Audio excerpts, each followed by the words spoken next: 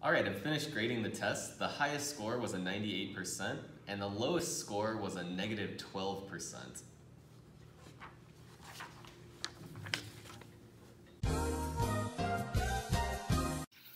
In this video, we're going to talk about advanced U substitution. And I know we just learned about U substitution, and we looked at examples where kind of everything works out nice and neat, where you see a function and its derivative, you just replace things with u and du and take the antiderivative.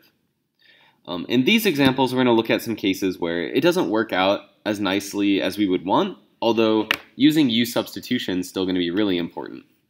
So let's take a look at this example where we have the antiderivative of 5x plus 7 to the 20th power dx.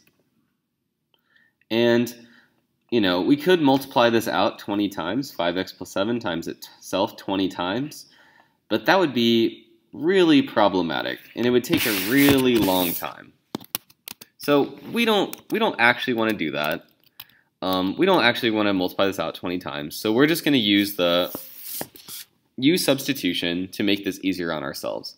And first, our first step is always deciding what u will be. So in this case, it makes sense for u to be this stuff in the parentheses, 5x plus 7. Then the next step is find something for dx. So you take the derivative of u with respect to x, and you also take the derivative of 5x plus 7 with respect to x, which is just 5. Then you want to get du by itself. So we have du is equal to 5 dx. Let's look back at the problem. Which components do we have? Well, we have the 5x plus 7, let me grab a different color for this. We have 5x plus 7. And we have this dx. But this 5 isn't anywhere. So this is why this doesn't work out so nicely because we have u and dx, but we're kind of missing this 5. If we had a 5, we could replace this, this with du. So what we have to do is add in the 5 ourselves so I'm going to rewrite this problem. 5x plus 7 to the 20th power 5 dx. And I just added in the 5 because that's what we're going to need. It's right over here.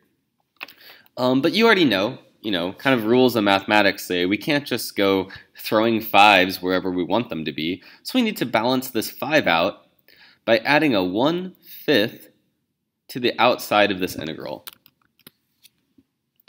Because if we had a 5 and a 1 fifth, we're not really changing anything because that'll multiply to just being 1. Okay. Now we can rewrite this integral with u and du. So we have u to the 20th power because u is 5x plus 7.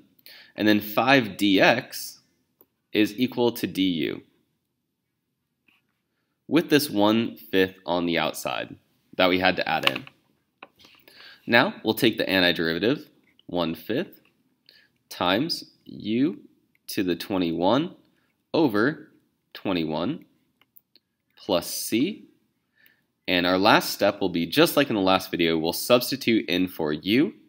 We have um, u to the 21st, or we want to say 5x plus 7 to the 21st all over 5 times 21 all over 105 plus c.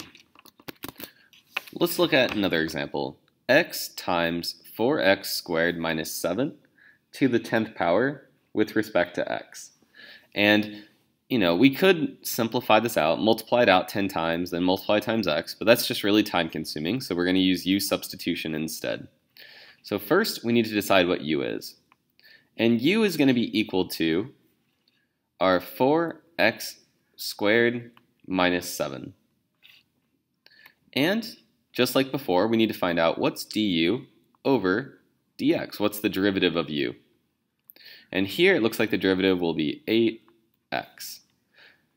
Get du by itself. This is an, always an awkward step here in the middle, but it has to be done. 8x dx. Now we'll just look back at our problem. Which of these things do you actually see? Well, you see 4x minus 4x squared minus 7. We're good there.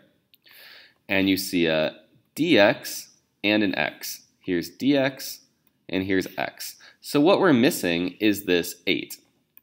We're missing this piece right here, this 8. So we'll need to add that in for ourselves. So let's rewrite the integral, but let's add in this missing 8. Keep everything else the same.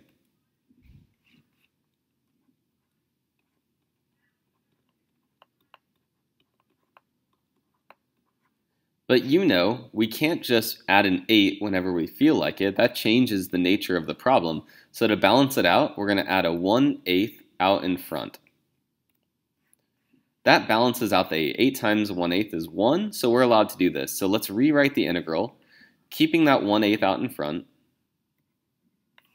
And then we can write, okay, this is u to the 10th power, and 8x dx is du. We'll take the antiderivative, 1 8 times u to the 11th power over 11 plus c. Multiply the 1 8 through and plug u back in because this problem is not about u, it's about the original problem. So let's plug that back in. That was 4x squared. Actually, let's use blue for this. That's 4x squared minus 7 to the 11th power over 88 plus c.